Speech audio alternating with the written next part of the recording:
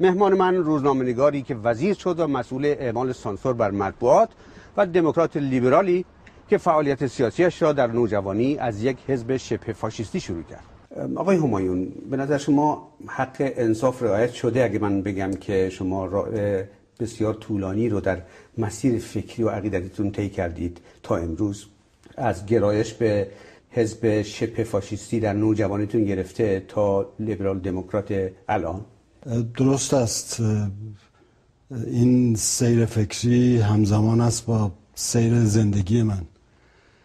به حال ما در یک دوران به کلی متفاوتی به دنیا آمدیم و بزرگ شدیم و در شرایطی به نوجوانی رسیدیم که جز گرایش های افراطی راهی نبود. همه همه دنبال گرایش های افراطی بودن. از مسلمانان تا چپگرایان تا ما راستگرایان. ولی سودمندی زندگی و تجربه همین است که انسان تصحیح می‌کند خودش رو و, و آدم دیگری می‌شود.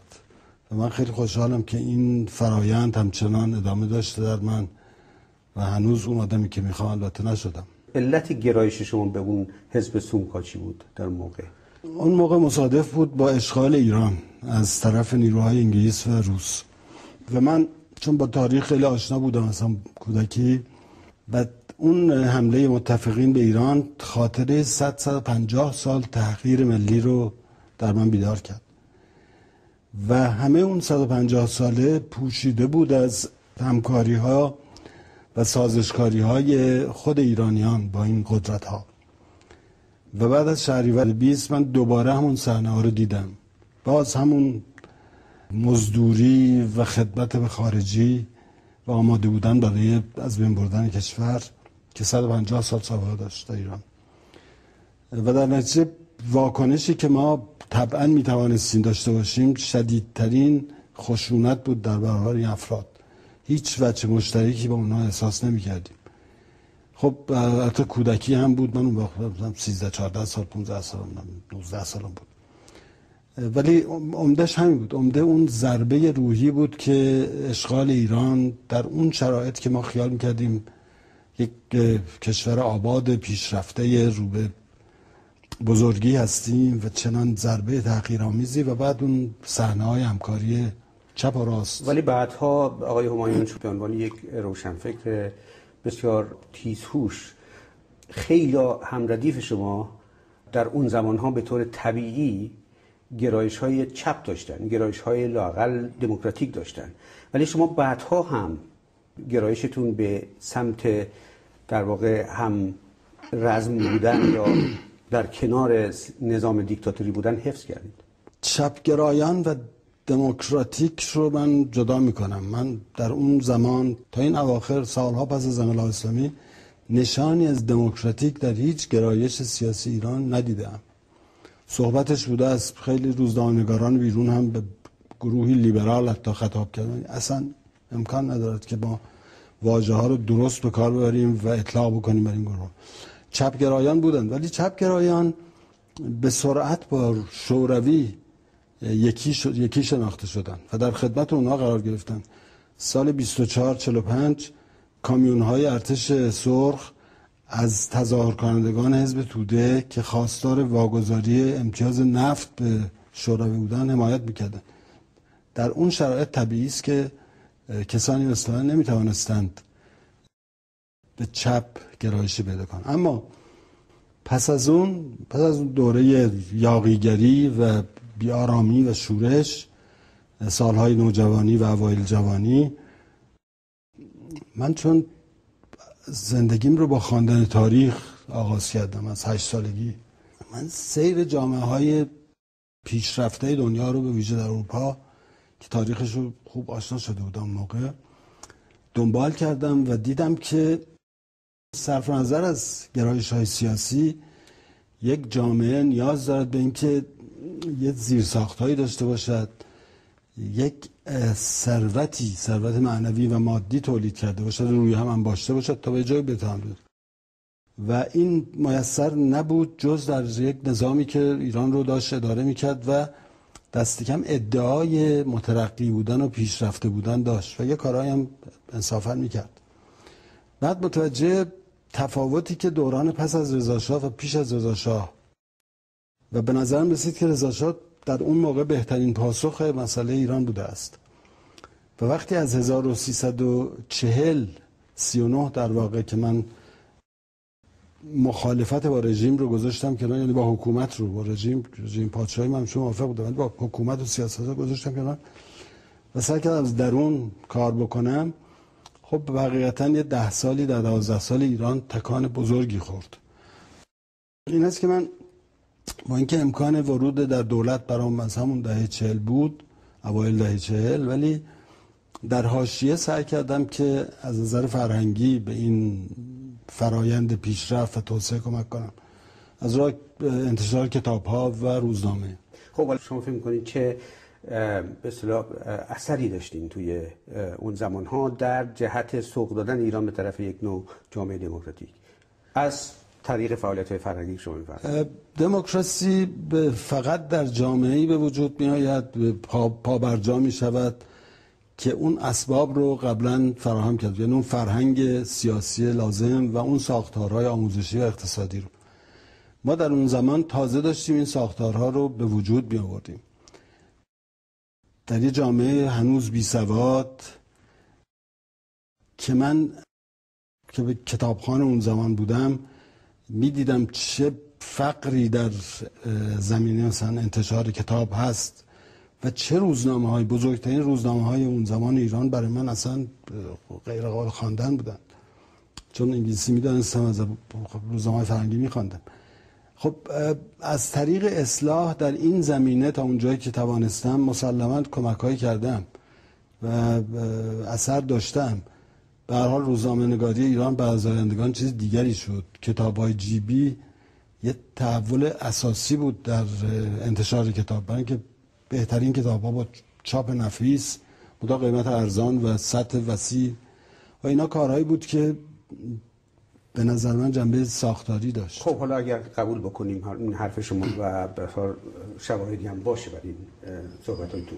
از دهه چهل به بعد اواخر دهه چهل تا پنجاه اینها اون موقع ها شما خودتون یک در مقالاتی که نوشتین گفتین که قطعا جامعه ایران در اون مقطع دیگه آماده بود برای یک نوع دموکراسی اینها ولی در اون مقطع هم شما برعکس به عنوان یک روزنامه‌نگار بسیار موفق کاملا حرفه‌ای تبدیل شدید به یک وزیری که کارش این بود که سانسور بکنه.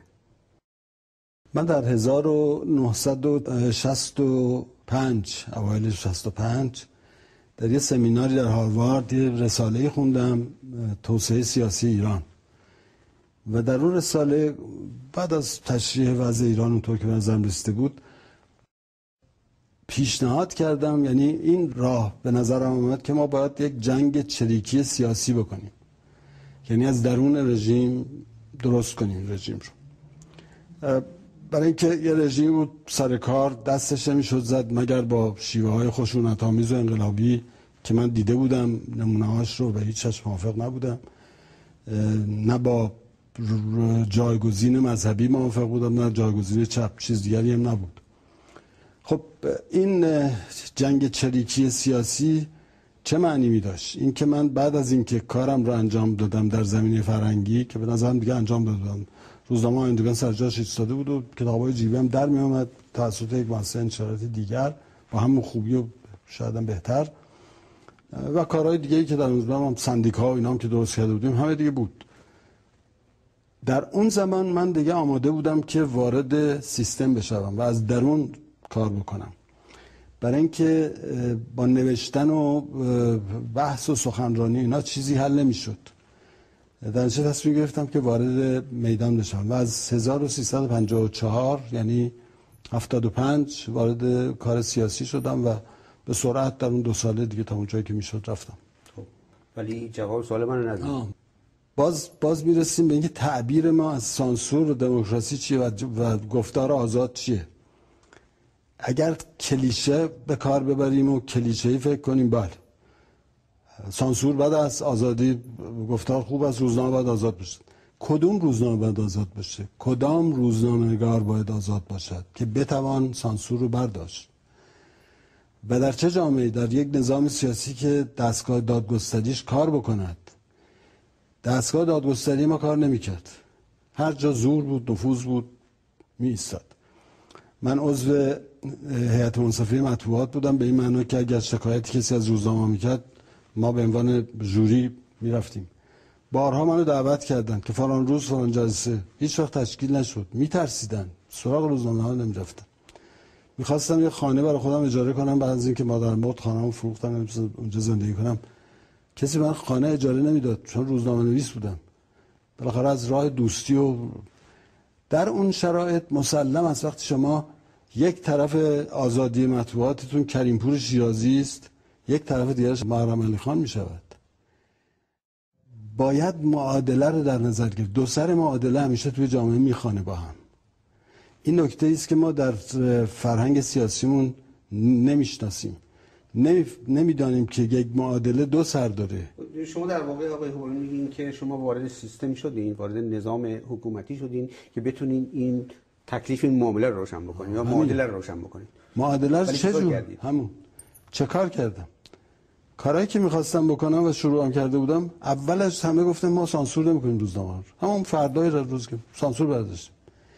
ولی وقتی سانسور بردارید در نظامی که نمی‌شود حرف زد باید تکلیف روزنامه‌نگار معلوم باشه. ولی روزنامه‌نگار دائما باید تلفن کنه آقا اینو بزنم نمی‌زنم یا چاپ کنه فردا از معمولا شاه بود. اول از همه خود شاه ناراحت می‌شد. بعد میاد پایین.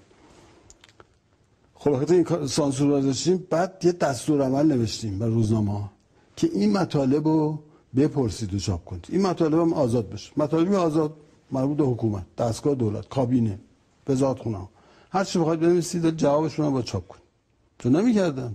اونم حاضر نبودن ولی آن چیزی نظر شاه بود نه باید بپرسید. معلومه که باید سانسور کرد اون مجلس مگه شما میگذاشت که شما یه روز بله دو روز می‌شد. بعد همه چیز به هم حالا میگردیم به صحبت که خودتون کردین در مقالات متعددتون که جامعه آماده بود از چل ولی من 39 آماده بود. برای یک نوع دموکراسی. چه کسی رو یا کسانی رو شما مسبب این می‌دونین که نذاشتن جامعه متحول بشه در اون مقطع؟ خیلی می‌دونید هر دو طرف طیف سیاسی. بله. هر دو طرف از شاه اون طرف. چون شاه بعد از 1339 حقیقتا می‌خواست باز کنه. و جبهه ملی دعوت کرد و خلیل ملکی رفت و داستانش مشهور است. به بنبست رسیده بود. هنوزم چیزی در چنته نداشت. به عنوان دستاورد بزرگ و آماده بود. خب جبهه ملی زیر بار نرفت. چپام که تکلیفشون روشن بود. سوده اون از اون شاه هم بعد از اینکه اون برنامه اصلاحات اجتماعی که حقیقتا برنامه درخشانی است بود. او رو اجرا کرد. دوچار یه غروری شد و دوچار یک خوشبینی فوق العاده که نیازی ندارم به نیروهای دیگر. من دارم کارم می‌کنم. مردم که طرفدار مردم واقعا طرفدار شد. درنچه موضوع اصلا از بین رفت؟ منتفی شد. و بعد واکنش نیروهای مخالف در برابر اون برنامه اصلاحی اصلا شرماور بود. مگر می شود که انسان با برنامه اصلاحات ارزی مخالفت کنه چون مثلا شاه کرده؟ خب هر کی کرده باشه. همه اروپا بر اصلاحات ارزی رو شاهان کردن. در همه اروپا. شاهان مستبد.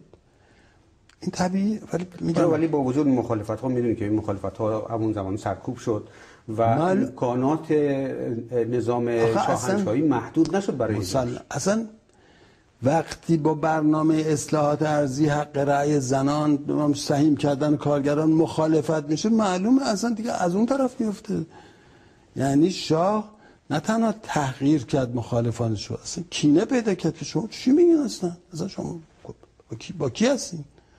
نه وقتی شما همه چیز رو بخواید هیچ چیزگاهی گیرتون نمیاد. مخالفان همه چیز می‌خواستن.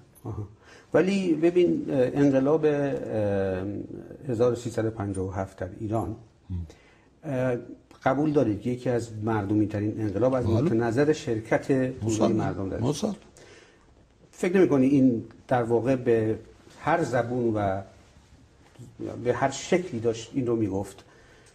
برخلاف اون چیزی که شما میگین که طرفدار داشت شاه نداشت در واقع. آخه شما زمان رو قاطی می‌کنید.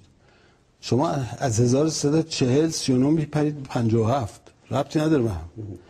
در 17 سال هزار اتفاق میفته یه ولی انقلاب که خلق و سائه نیست. خلق و سائه نیست ولی ولی 17 سال هم مدت بسیار طولانی است. انقلاب 17 سال طول نمی‌کشه. زمینه داره یعنی زمینه از سالهای انقلاب 17 سال زمینه نمی‌خواد. انقلاب اسلامی شش ماه در واقع طول داد. زمان عمر انقلاب اسلامی شش ماه بود.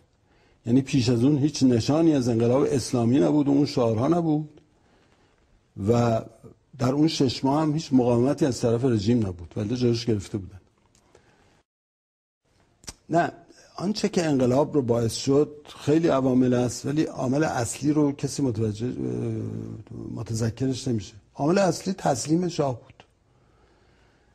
شاه در 1981 که من رسیدم به پاریس همون وقتی مصاحبه کرد با واشنگتن پست که من در هرالد تریبیون اونجا خوندم. گفت سیاست من در برابر انقلاب صرفا تسلیم بود.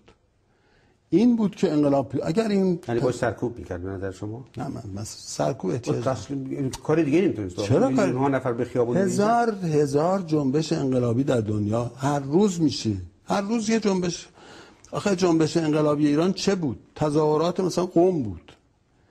این که نمید انقلاب بشه که با یه تظاهرات مثلا 200 نفر طلبه که انقلاب نمیشه که. نه سرکوب دید. سرکوب باز از اون لغت هاست که تا بگید که همه وحشت نه. شما یه دیر می‌گیرید. حالا اسمش هر چی هست. یه دیر می‌گیرید یه دیر هم اجازه می‌دید فعالیت کنن. ولی شما اگر اونایی که باید اجازه داد فعالیت کنن بگیرید. اونایی که باید بگیرید ول کنید. خب میشید که مطمئن باشید که تا ماه آذر و دی جلوی انقلاب رو می‌شد گرفت بی خون ریزی زیاد. حالا تی عده کشته می‌شدن چون دو سه هزار نفر همون شش ماه کشته شدن با همه تسلیم بله. اینجور هم نیست که تسلیم جلو خون ریزی رو گرفت ولی خب از طرف دیگه میشه اینطور گفت که برای مدت طولانی همه احساب رو بسته بودن فضای سیاسی در مملکت کاملا بسته بود بله بله. و فضای اختناع وجود داشت درست. و در این شرایط مردم بهترین راهی که می‌تونستن که بریزن به خیابون بکنن. این انقلاب انقلاب مردم بود قبل از هر چیز دیگه. وقت شما نمی‌تونید یعنی در واقع راجع به انقلاب مردمش بس نه نه نه ما در باره انقلاب مردم بحث نداریم. قبوله. ولی این مردم روز اول که نرختن تو خیابون. این مردم به تدریج گروه گروه و لایه لایه اجتماعی پیوستن به انقلاب. شش ماه طول کشید. یعنی هر چه شاه کوتاه آمد عده بیشتری ریختن تو خیابون. شما اگه روز اول جلو یک جریانی رو بگیرید مثل شعر سعدی که به با بیل میشه سرش گرفت بعد دیگر با پیل هم نمیشه گذاشت. اصلا نیاز به خونریزی نم میگم دو سه هزار نفر کشته شدن. خیال نکنید که اون سیاست تسلیم و غیر سرکوبی و اینا بی هزینه بود. نه بیشتر کشته شدن. شما روزای اول باید داری می‌گرفتید. جلو بقیه هم حساب کارش رو می‌کردن. چون هیبت شاه و قدرت شاه یه چیز دیگری بود اون موقع. فقط کافی بود نشان بده که وایستاده و نمی‌گذاره. تموم شد. 1342 همون خمینی. با همون شدت و حدت. ریختن تو خیابون نه فقط در تهران. پنج شیش شهر ایران. ریختن تو مخالفان هم همه آماده بودن برن پشت پشتش بگن سه روزه تمام کردن کار خب انقلاب نشد. پس میشه جلوی این چیزا رو گرفت؟ خب به حال حالا این این نظر شماست و خیلی هم با شما مخالفن تو این زمینه. ها خب. حالا اینو از این بگذاریم بله از این بگذاریم بریم سر مسئله که شما در واقع الان الان شما حزب مشروطه ایران درست کردید. و من مرامنامه و اساسنامه شما رو خوندم. بسیار خیلی قشنگه خیلی به افکار و عقایدی که درش مطرح کردین و آینده‌ای که برای ایران درسی می‌کنین. همطور که خودتونم گفتین خیلی مدل حکومت دموکراتیک و لیبرال اروپاییه. ولی به نظر می‌رسه این یک اشکال داره این وسط و اشکال اساسی و بنیانی داره. و اون این که شما به نظام شاهنشاهی معتقدید و این با مجموعه اون چیزایی که شما میگین به نظر بغایر میاد. ما با نظام شاهنشاهی هیچ موافقت نداریم. شاهنشاهی معنی داره در ایران. مگه ما شاهان داریم در ایران که شاهنشاه داشته باشیم؟ نه. ما با پادشاهی مشروطه موافقیم. همون که شما در انگلیس دارید. شما در انگلیس فراموش می‌کنید که در قرن 17 هم که قرن حق الهی پادشاهانه. حق الهی پادشاهان. برای اولین بار در همون انگلیس شما یک پادشاه گفت من حق الهی دارم. در فرانسه همون بابا گفت. از همه می‌گفتن. در 1686 انگلیس پادشاهی مشروطه پیدا کرد. ویلیام اورانج و ملیکه آن. پس در یه قرن پنجاه سال در طول پنجاه سال پادشاهی مستبد نه مطلقه نه حق با حق الهی شد پادشاهی مشروطه. می شود در ایران ولی آقای کمان شما بله. شما بهتر من می‌دونید بله. خیلی بهتر از من می‌دونید که مسئله پروسه پادشاهی مشروطه در بریتانیا در هر جای دیگه یک پروسه بسیار طولانی در ایران هم- که ما در- داریم راجع به فردای ایران صحبت می‌کنیم. ما ایران- و, این و به علاوه مردم ایران یک بار در انقلاب و یک بار در رفراندومی که دوستان- همه اشکالات دوستان- رفراندوم داشت ولی یک روشن بود. شما نظام شاهنشاهی می‌خواد دوستان- 98 نمی‌خواد. درصد خیلی چرا شما با دوره فکر می‌کنین این مال سی سال پیش بود. و معلوم نیست امروز یا دو سال دیگه اگر از مردم بپرسید چه بگن. اینو هیچ کس نمی‌دونه. مگر اینکه شما بگین آقا یه دفعه گفتن تموم شد رفت. اون که معنی نداره. مردم می‌تونن هر روز نظرشون عوض کنن. نه. ایران در 100 ساله گذشته به اندازه 300 سال اروپا تجربه کرده. برای اینکه الان سیر رو- رویدادها سریعتر اون وقت یه خبر از این ور به اون ور یک کشور یه ما طول می‌کشید الان دو ثانیه طول می‌کشه. کمتر. این است که ما تجربه کردیم. ما ما دیدیم نظام شاهنشاهی چیه جمهوری اسلامی چیه چپ چیه راست چیه همه اینا رو دیدیم. اگر ما هم نمیگیم که حتما باید این بشه. گفتیم مردم اگه خواستن ما ما, ما اینو می‌کنیم ما حق داریم. شما حق دارید بگید جمهوری. فرق نمی‌کنه. یا شما نظامتون نظام دموکراتیکه ما پادشاهیتون هم دموکراتیک یا نظام دیک- دیکتاتوری جمهوریتون هم میشه سوریه مثل آذر... جمهوری آذربایجان. چه فرق می‌کنه؟ اسمش جمهوری پادشاهی هم بدتره. این است که با اسم از اسم وحشت نکنید. ما گفتیم تجربه تاریخی ما ما رو به آنجا رسانده است که می توانیم یک پادشاهی مشروطه برقرار کنیم. اگر مردم بخواهند نخواهند نخواهند نخواستن رفت. ولی بسیاری معتقدند که از جمله مخالفان نظام جمهوری اسلامی در ایران و در خارج از ایران که هر نوع تحولی در جهت دموکراتیک شدن جامعه ایران باعث از درون جامعه ایران و با در به احتمال زیاد از درون خود همین نظام اسلامی با, با اصلاح شدن نظام اسلامی بشه. نظر شما نه در اینکه همه چیز از درون ایران منتها با یه نفوذهایی از بیرون چون ما در بطریا در لوله آزمایشگاه که نیست اون جامعه هزار نفوذ هست. ولی مسلم است. آنچه که در ایران تعیین کننده است تحولات درونی است. و من هیچ هیچ اشکالی هم با این ندارم که خود این نظام دچار تحول بشود. به مراتب ترجیح دارد که هر چه زودتر در خود این, نظام یه عده‌ای پیدا بشن این بساط رو برچینند و تا اینکه خونریزی بشود مملکت از بین برد نه اونا مسائلی است که ما دربارش دعوایی با هم نمی- نمی‌تونیم داشته باشیم. منتها فقط شما امیدوار باشید که مثلا در خود این نظام یک عده‌ای پیدا بشن درست کنن معلوم نیست. نه. ممکنه که نتوانه. یک نظام هایی نمی‌توان کره شمالی نمی‌تواند از درونش چیز اتفاق بیفته. حتی ایران کره شمالی نیست. ولی به حال یه نظام هایی هستن که نمیشه کاریش کرد. باید فرو بریزه. شوروی فرو ریخت. اصلاح نشد. حالا اینا ممکنه فرو بریزن. واقعا هم وضعی که در ایران به وجود آوردن خیلی احتمال فروریزی بیشتر است تا اصلاح از درون. ولی اونم من نفی نمی‌کنم. نشانه هایی وجود داره در داخل ایران که این تحول و اصلاحات مقدوره و به حال خواست شاید بیشتر مردم ایران هم همین. درسته. منتها اونورم خب مقاومت ها زیاده. نه در این شک نیست که مردم اینو این راه حل ترجیح میدن. منم در ایران بودم این راه حل ترجیح می‌دادم. و هستن نیروهای خیلی مؤثری هم هستن که دنبالی ولی اون طرف هم خب می‌دونیم که چه قدرت های متمرکز شدن برای اینکه وضع موجود و منافع خودشون نگه دارن. و این تنش هزار اتفاق ممکن است بیفتد. معلوم نیست واقعا چیه. اما من هیچ کدوم از این احتمالات رو نفی نمی کنم همش به سود ایران است. خیلی متشکرم.